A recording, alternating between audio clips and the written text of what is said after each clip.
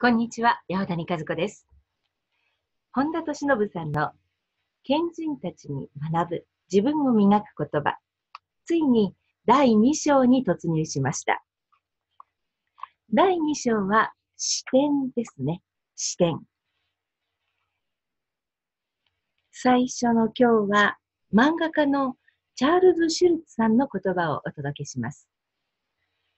人生は縦断変速の自転車のようなもの。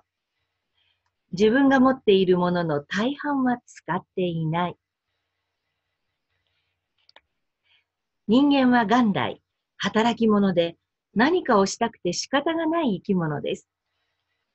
ですが、現実は明確な目標がなかったり、自分の置かれた環境に満足できず、本来の能力を十分に発揮することができずに、不完全燃焼に終わっている場合が多いものです。人は明確な目標を設定し、自らやる気が起こる環境を作り上げていけば、本来持っている力を出し切り、もっといい仕事ができるはずなのです。だから、自分自身のやる気を効果的にマネージメントすることが潜在能力を上手に引き出し、仕事の質を高め、生産性を上げることにつながるのです。本来持っている伸びしろを引き出せていますか？今日の言葉は漫画家チャールズ・シュルツさん。